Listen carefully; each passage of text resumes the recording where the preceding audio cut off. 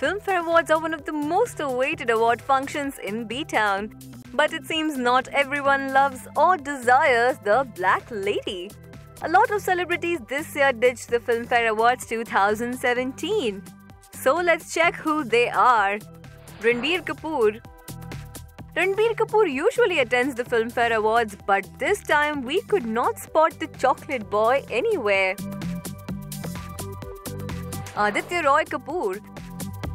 The charming boy is usually not spotted at award shows, and this time also he wasn't available.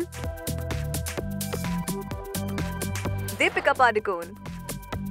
Deeps won an award last year for her performance in Piku and Bajirao Mastani, but this time it seems the actress was busy with Vin Diesel. Katrina Kaif. Last time we saw Katrina dolled up in pink, and this time we did not see Katrina at all. The reason? Unknown. Ranveer Singh. Last year, the actor got the award for his role in Bajirao Mastani, but it seems our Bajirao wasn't interested to attend the award ceremony without his Mastani. Aishwarya Rai. Diva also missed the award function even though she was nominated for her movie Sarbjit.